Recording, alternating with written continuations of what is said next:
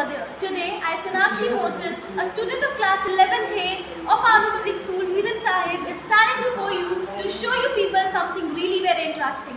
Today, I'm going to be talking about this robot that has been made by me, Niharika Bassey from class 11B and Mannat Sharma from class 11th A under the guidance of Mr. Ankush Sharma. So this is a security alarm sensor that has been made by us and we know that there is a huge impact of artificial intelligence all over the world.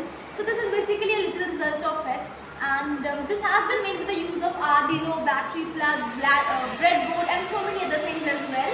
And if talking about its functioning, like how does it work? So you need to first of all attach this battery with this uh, connector and once you do this, it has a specific range under which it works and if you bring anything closer to it, if you bring anything near to it, neglecting that range, it will start beeping.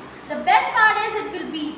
So like this, so it beeps and this is what we have done on a smaller scale you can do it on larger scale as well.